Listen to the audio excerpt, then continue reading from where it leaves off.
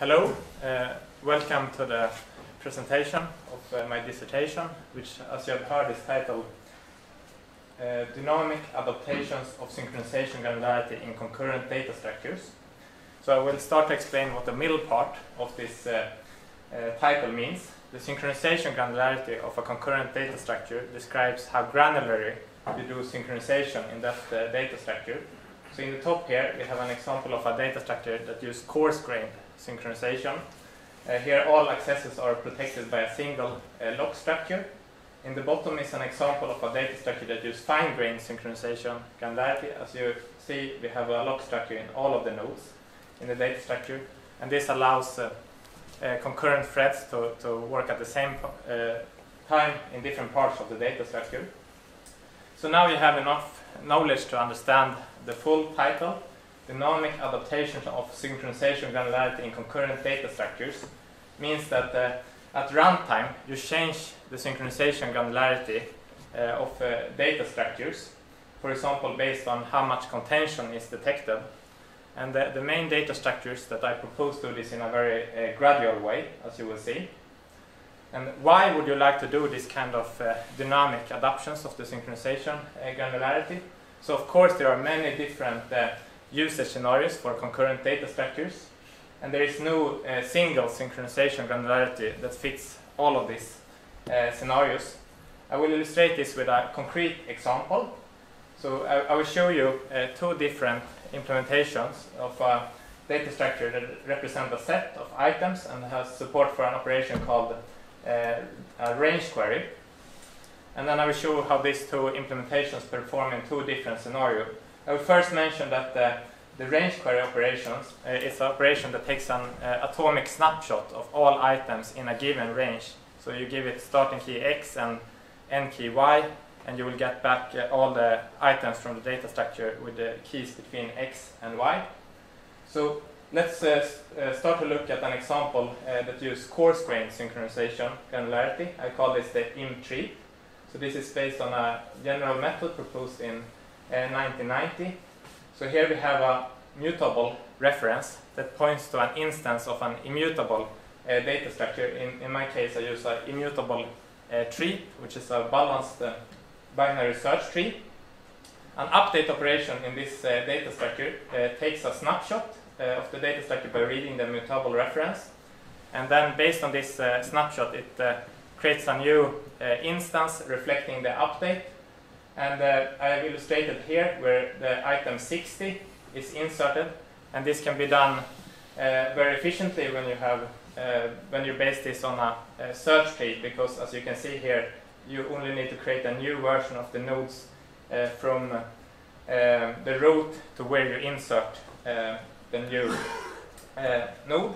And once you have these uh, updates in place, you can do uh, the range query operation extremely efficiently because they just need to read the mutable reference and then they can do the snapshot, the, the range query in the snapshot without needing to, to care about other threads.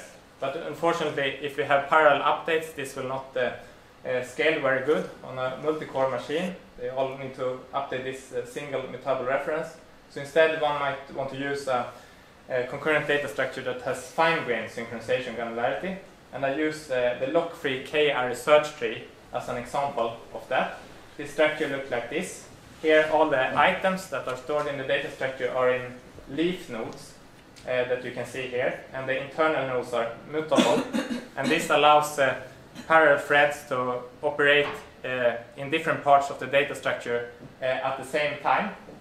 But when you have range queries in, in this uh, data structure, then um, they might need to traverse many of these immutable leaf nodes, and while they are doing this, they can conflict with update uh, operations, which uh, uh, might make them need to retry some steps.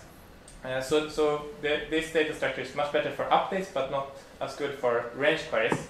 So what does this actually mean if we look at how this uh, data structures perform in two different uh, benchmark scenarios. Uh, so here I show you two scenarios where these data structures are used and I, I show you the uh, throughput operations performed per microseconds on the y-axis and then the number of threads that are doing operations on the x-axis. And uh, the only difference between these two benchmark scenarios that you see on the left and to the right is the size of the range queries that are uh, performed.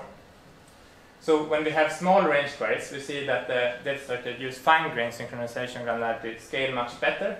And this is because of this scalability bottleneck in the uh, IM tree. But when we have large range queries, the situation is almost uh, completely reversed. Then the, the IM tree uh, scale much better due to uh, the long time in which uh, range queries can conflict with other operations in the uh, lock-free k-ary search tree. So what we say here is that none of these approaches uh, seems to be ideal because ideally we would like to have a data structure that can perform very well in both of these uh, uh, scenarios. And this is exactly what I've tried to accomplish in my work to, to get data structure that perform very well across a wide range of scenarios. So the central thesis that I'm defending in my dissertation is that the concurrent data structure that dynamically adapt their structure based on user statistics can perform significantly better across a wide range of scenarios compared to concurrent data structures that are non-adaptive. And my, my dissertation uh, consists of five different published uh, papers that you see the titles of here. Uh, the first three uh, papers is about uh, uh, data structures that adapt their synchronization granularity to the workload at hand. Paper 4 is about a, a synchronization uh, technique, so I will not have time to speak about this in this uh, talk, but this uh, synchronization technique is used in, in paper 5, uh, where I present a very efficient concurrent priority queue. So let's dive into paper 1 which is titled A Contention Adapting Approach to Concurrent Ordered Sets. And uh, in this uh, data structure uh, paper, I describe a data structure uh, which is called the Contention Adapting Search Tree. Uh, will call it the CA tree from here on. Um, this data structure can be used uh, to implement data structure that represents sets. They can be, it can be used for key value stores and in-memory databases. Uh, it supports single item operations that uh, insert, remove, and look up uh, an item. And it supports bulk operations, for example, bulk eh, insert that eh, takes eh, a number of items as input and, and will insert all of these items atomically to, to the data structure. And it also supports range operations. So I've already told you about the, the range query, which is one range operation and it also supports range updates, which atomically update all items in, in a given uh, range. So in this uh, paper, I have uh sketches for correctness proofs that uh, uh, for showing that all these operations are linear, linearizable, deadlock, and live lock free. And what is new and special about this CA tree data structure is that it dynamically adapts its synchronization granularity to the workload at hand. So this is uh, how the CA tree uh, look like. It's structured. So all the items that are uh, stored in the data structure, they are located in sequential data structures that you see here in the bottom. And this can be, uh, for example, balanced search trees like AVL trees. So you, it can also be other data structures. The important thing is they, they, that they can be split and joined in an efficient way, and you will see soon what I mean uh, with that. And these sequential data structure, they are protected by uh, locks in uh, what I call base nodes that you see here in the middle. Uh, and uh, associated with these locks uh, are uh, statistics counters. So these are, are, are the, where I record how much contention is detected in the locks.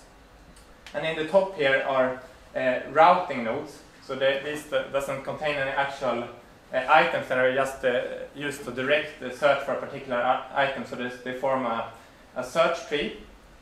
So uh, normal update operations that just operate on a single item, they will just search in the routing nodes until they reach a, a base node, and then they will lock this base node and this, when this base node is locked, it's recorded if uh, some contention was uh, detected or not. And based on this, uh, these statistics counter associated with the lock will be modified. So the statistics counter will be increased if some contention was detected, or otherwise it will be uh, decreased. Uh, so this is how um, the data structure record uh, contention and this will guide the adoption of the synchronization granularity as you will see soon. Uh, there is also locks in the routing nodes and uh, some flags and in, in the base node. So I will not go into how th these are used now, but they are used for uh, when the data structure adapt uh, to uh, contention. Um, so, so normally searches in the data structure don't don't look at these locks and flags in the in the routing nodes. So let's look at how the CA tree adapts itself to contention. So initially, it might look like this. All the items are stored in a single sequential data structure, uh, protected by the lock in a single uh, base node.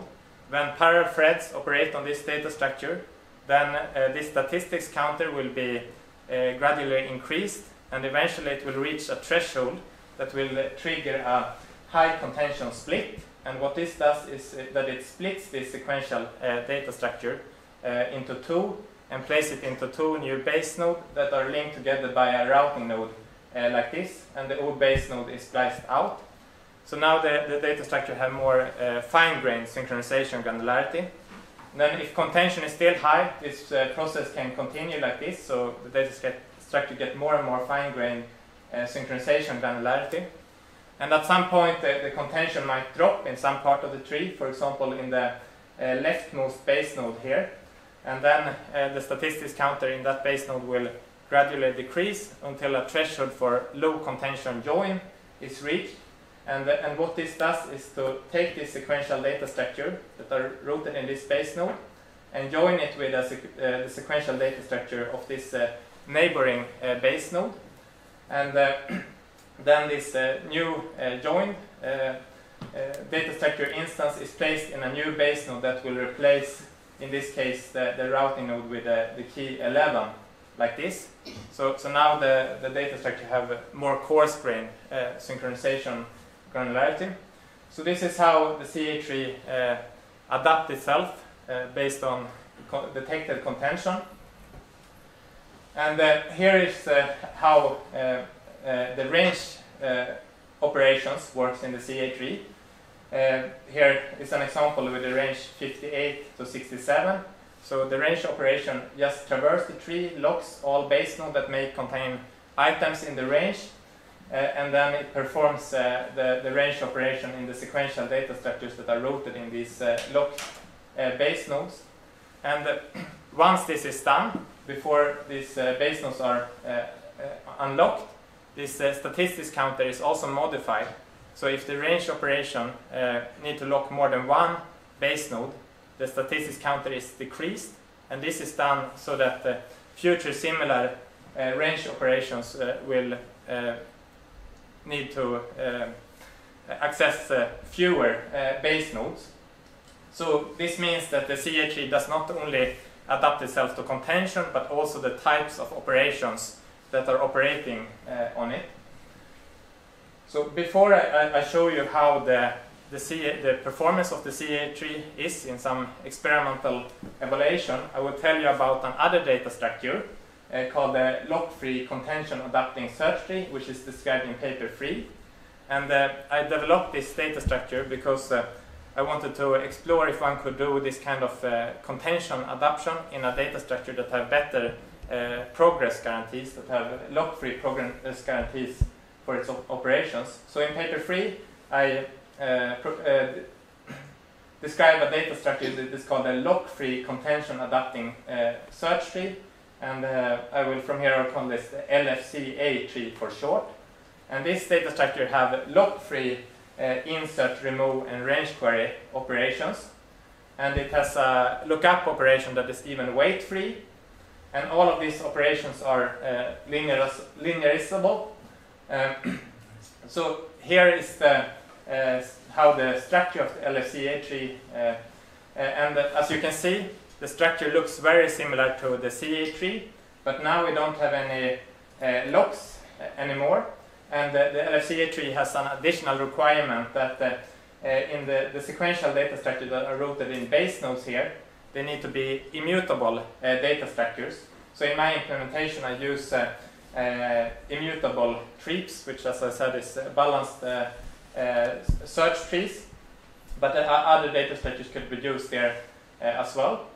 And uh, this data structure also uh, adapts itself to uh, its synchronization granularity in a similar way, way as the lock-based CA tree, but as it needs to provide this better progress guarantees, this is done with uh, algorithms that are uh, a bit more uh, complicated. And I will illustrate this by showing you how the LFCA tree do range queries.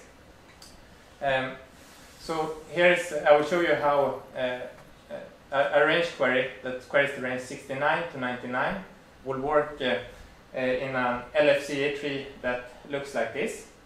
So the first thing that uh, range query do is to create a storage node that you can see here. And then the range query uh, searches for the, the, the, the first uh, key in the range and ends up in a, a base node that it will replace with a base node of a special type uh, that you see here. And uh, uh, once this is done, this new special base node, it will be irreplaceable, which means that update operations can't uh, replace this uh, uh, node. So when update operations come here, they see that oh, this is a special base node, so they, they can't replace it. but then to, to, to still provide the lock-free progress guarantees, you can't just let the update operation wait. so what you need to do is to, to let the update operations help the range query uh, complete. And that you can do because this uh, uh, special base node it can contains enough information about the range query uh, so that uh, it can help the, the issuing thread complete this uh, range query. so the next steps of this range query, it can not only be done by the thread issuing the range query, but also other threads.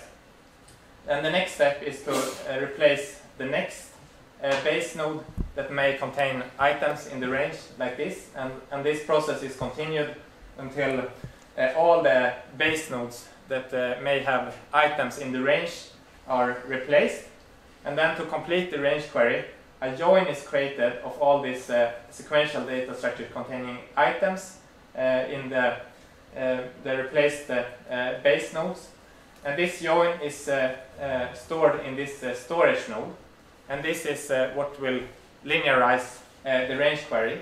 And it's also what makes this special base node uh, replaceable again. So now update operations can uh, replace them.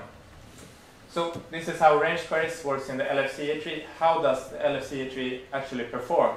So let's look at the, um, how, how it works in the same benchmark scenarios that I showed you in the beginning of the talk. So the LFCA tree is now uh, the, the black line. And you see that in the scenario with small range queries, is even better than uh, the data structure that use fine-grained synchronization granularity, the uh, lock-free k-ary search tree. And then in the scenario with large range queries, it's almost identical to the IM tree, the example of the data structure that use coarse-grained synchronization granularity. So some more detail about the experiments, uh, or the, this uh, oh, experiment that you just showed the results for, from. Uh, threads do a mix of uh, insert, removes, and, uh, and lookups and range query operations, and the range queries have a, a range that is uh, of a, a, size up to some certain size uh, max. And uh, I run this on a machine that has four NUMA nodes, Intel processors with eight cores each and hyper-threading, so the machine has a total of 64 logical cores. And the benchmark is implemented in, in Java because the, the data structure that I compare with had implementations in Java. So to, to make it uh, uh, possible to compare with them, I also implemented the, uh, the LFCA tree and the CA tree in Java. In, in the paper, I, I have uh, described other benchmarks uh, and uh, a lot more results. Um, and I compared the, the data structure from paper 1 and paper 3, the lock-based CA tree and the LFCA tree, Uh, with the, the, data structures that you see listed here. These are uh, recently performed high performance data structures that uh, uh has support for uh, range queries. and all of these previous works in this topic, they, they, propose data structures that are non-adaptive, so they, they use a fixed synchronization granularity. So uh, now we look at a, a, scenario with small range queries.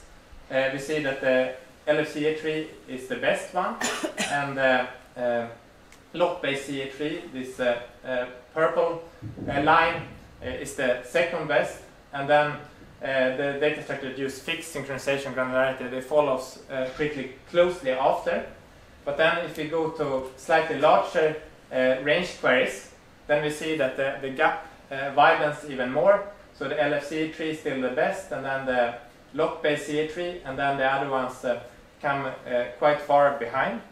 And then uh, we go to even larger range queries, and then we see that uh, uh, the example data structure that uses coarse grain syn synchronization granularity, the IM tree, is almost identical to the lock-based and lock-free CA tree, and the other data structures are are, are very far uh, behind. So uh, the bottom line, the, the thing I want you uh, to, to, to, take with you from these experiments is that the adaptive data structures that I propose, they perform well across a very wide range of scenarios, while the other data structures they perform uh, well in certain scenarios that fit their synchronization granularity, but they, they can't perform as well across uh, a wide range of scenarios. So to summarize, uh, the LFCA and the lock-based CA automatically balance the trade-offs of coarse grain and fine grain uh, synchronization to fit the, the workload at hand. And this makes this uh, data structure scale better than related concurrent data structures over a wide range uh, of scenarios. Uh, paper 2, uh, that, that's a paper that I, I wrote because I wanted to investigate how the CA tree will work in a, a realistic uh, system. So what I want to answer in this paper is if the CA tree can improve the scalability of ETS. And ETS stands for Erlang term storage. And this is a key value store that is integrated into the Erlang uh, programming language. It's implemented in, in C, and it has a complex API with range operations and and bulk uh, operations and uh, a lot of other uh, uh oper operations. And uh, the current uh, implementation of ETS is based on a AVL tree protected by a single lock. And in this paper, I show experimental oh, experiments that show uh, how an experimental implementation based on the CA tree uh, would uh, scale and uh, an implementation of the of the ETS. Uh, so here is just one example from the results that I show in this uh, paper. The CA tree is the orange line, and the blue line is the current um, ETS implementation. and as you can see, it's a huge difference you, you can get from, from integrating the CA tree into this uh, Erlang term storage. Uh, paper 5 is about uh, a completely different type of, of data structure than what I've discussed uh, uh, previously. It's titled the contention avoiding concurrent priority queue.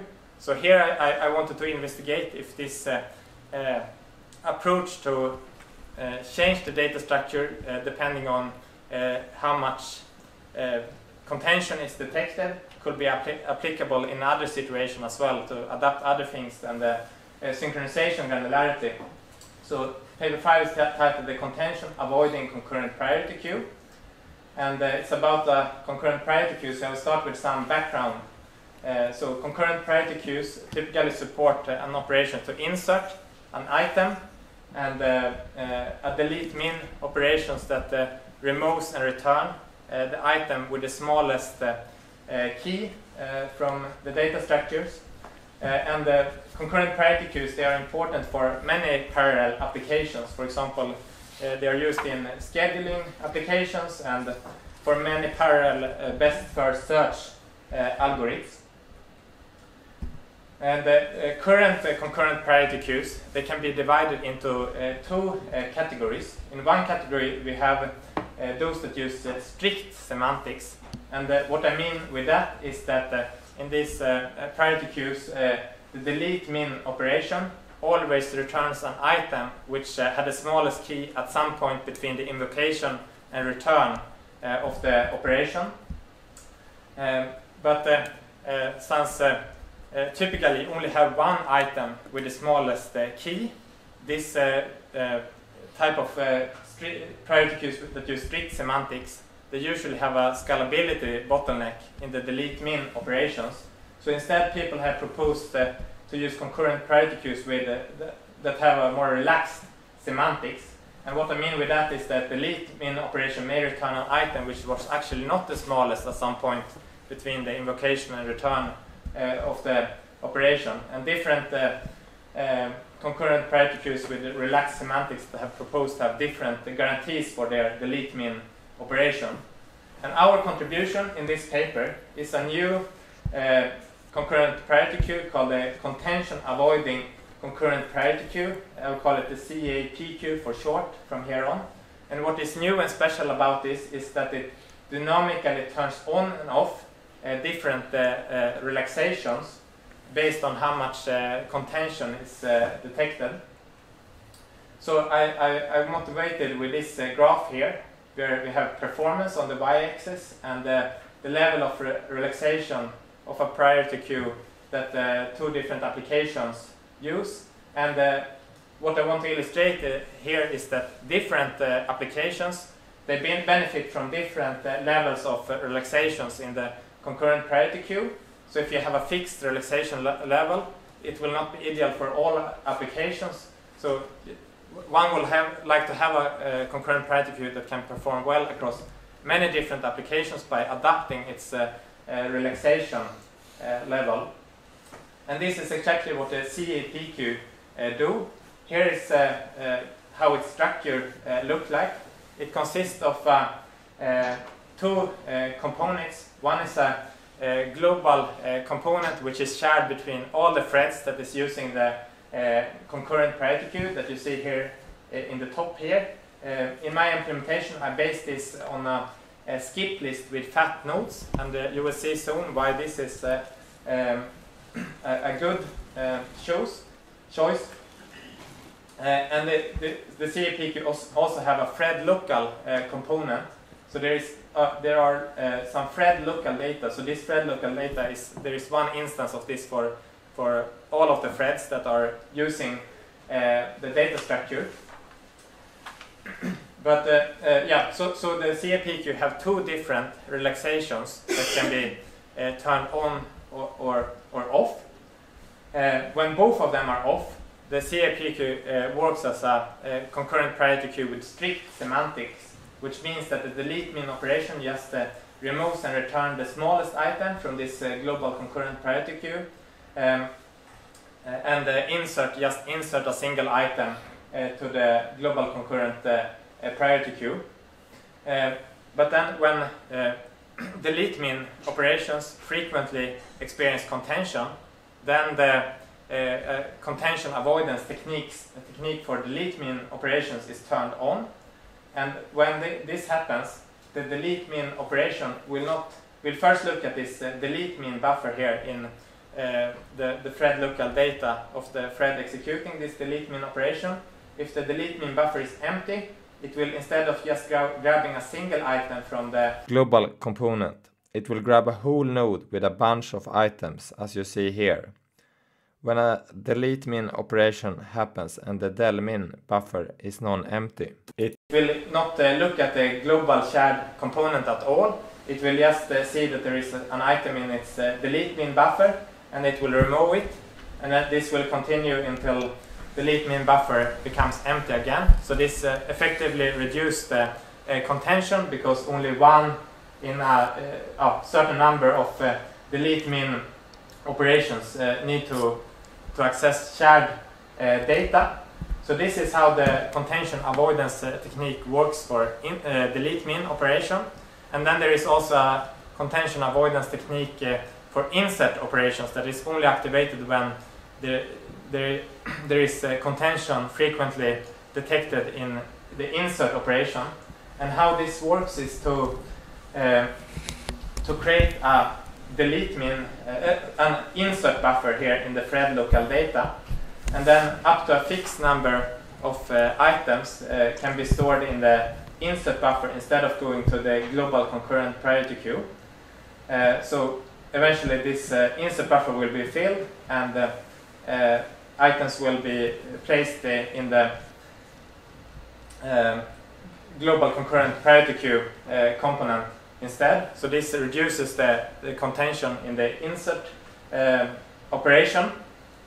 And the, uh, the, the, delete min operation will always look at both of these buffers and take uh, the smallest item uh, that exists in, in both of these. So in this case it will uh, remove 4 here from the insert buffer. So this is how uh, the CAPQ works and how it it's techniques to avoid contention um, operate. So I, I compare the CAPQ to uh, the uh, relaxed concurrent priority queues that were published uh, uh Uh, when I, I, was doing this uh, work. Uh, they are all listed here. And uh, uh, so I will tell you how the CAPQ differs from this, this related data structure. So first of all, the CAPQ only activates relaxed semantics under contention. So this makes it possible for the CAPQ to work well both when the contention is high and also when it's uh, low. And uh, it also makes it possible for the CAPQ to automatically adapt itself to the application that is using the, the CAPQ. And another important uh, difference is that the CAPQ doesn't access share data in every delete min call, which the, the previous uh, work did. And this, uh, of course, uh, uh, makes it possible for the CAPQ to cause less uh, traffic in the memory system, which can be very expensive. But unfortunately, this also makes the, the precision of the delete min operations worse in certain scenarios when delete min uh, calls happens infrequently because then the items in the buffers can get out of date. Uh, but uh, in, in many applications of uh, concurrent priority queues, uh, delete min uh, operations happen frequently by all the threads that are, are active in the application. So, so this is not a problem for, for many of the applications for, of concurrent priority queues. Uh, I evaluate the CAPQ and compare it to the related uh, uh, data structures in an application that is a parallel version of Dijkstra's single source shortest path algorithm that find uh, the, the, shortest path in a graph to, to, from one node to all the, the, other nodes in the graph. And this is a particularly good uh, application to eval evaluate uh, priority queues with relaxed semantics and the reason for this is that uh, when the semantics is too relaxed, when you get uh, items that are uh, too far uh, from the actual min, from the delete min uh, operation, uh, then threads will start to, to, do work that will be wasted in some sense because it will do the work based on, on incorrect values, so this work have to be repeated later. So, so that's why the the relaxation level of the data structure also affected the performance. And I, I used the same machine as uh, uh, I used in the previous uh, experimental results that I, showed you. It has 64 logical cores. So let's first look at the uh, results when uh, this application is uh, applied to a graph based on a real-world road network. And So first of all, we see that uh, none of the concurrent priority queues scale very well after uh, 16 threads are used.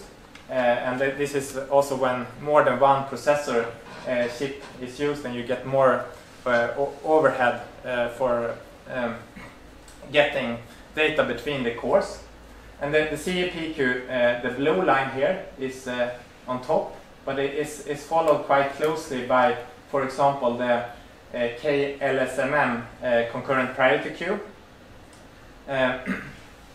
but if you look at another scenario that is based on a real world social network graph, then the KLSM priority queue has much much worse scalability while the CAP queue is still the best one and and uh, it uh, scales uh, quite well up to 64 threads in this scenario.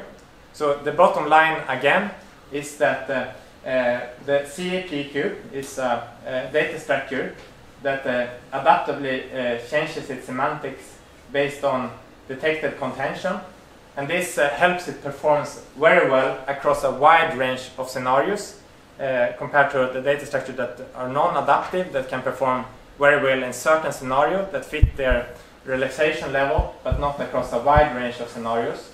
And uh, um, the, the, the, results that I present in the paper shows that uh, the CAP outperforms other relaxed, relaxed priority queues uh, in this uh, uh, single source shortest path uh, benchmark when you look uh, on a wide range of, of instances of this benchmark. So to summarize this talk, I talked about the papers 1 to 3 that are about the uh, lock-free CA, tree and the lock-based CA tree that dynamically adapt their synchronization granularity to fit uh, the workload at hand. And uh, paper 5 is about the, the CAPQ that uh, change which relaxations that are turned on and off based on detected contention. and this makes it perform very well across a wide range of scenarios. So these papers, I claim, strongly support my thesis, which, which is that concurrent data structures that dynamically adapt their structure based on user statistics can perform significantly better across a wide range of scenarios compared to concurrent data structures that are non-adaptive.